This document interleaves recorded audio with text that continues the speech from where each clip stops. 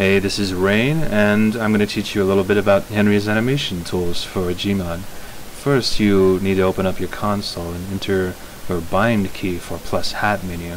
I chose V, but you know, you can go with anything else. And when you press V, you actually have to hold it down. There's your menu that you're going to use. Anyway, scroll down to your tools menu under hat tools and choose selector.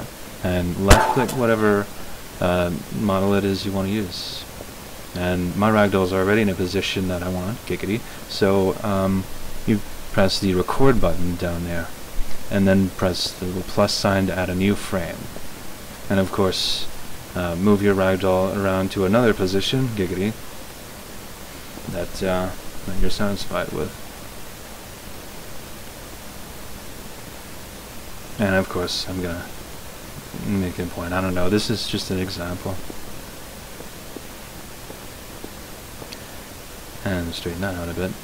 Now, I have the second frame for the animation I want, so bring up the menu. Oh, forgot. I gotta face pose this a bit first, make it look a little better. I'm using the HWM models for this, which uh, make much more flexible faces, giggity. That looks pretty good.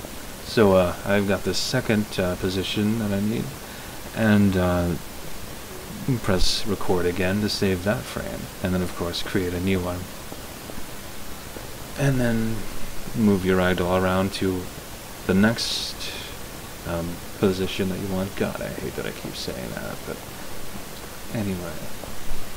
This is pretty nonsensical stuff right here, but anyway. Have the, uh, great face have the final setting that I want for this ragdoll, so I press record for the final time. And now, press play. And, should see it. Oh my god. That's way too fast.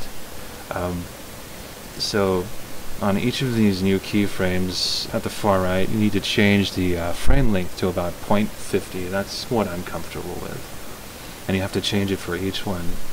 Right now it keeps like resetting with every new frame you do, which is kind of annoying because you have to do it every time, but still.